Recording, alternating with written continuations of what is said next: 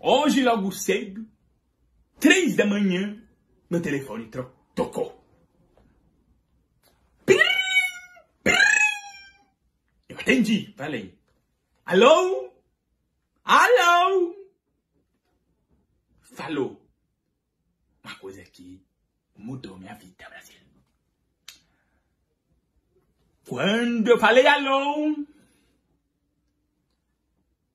era um homem falando, aquela produção do Alok, do DJ Alok, e ele tá te convidando para uma festa.